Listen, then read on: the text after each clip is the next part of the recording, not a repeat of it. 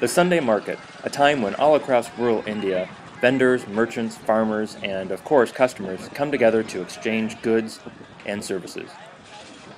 Vegetables, fruits, betel nut, tools, whatever you can think of, it's here at the market. It's busy, it's loud, it's fun. Get there. For more on India, visit fullstopindia.com.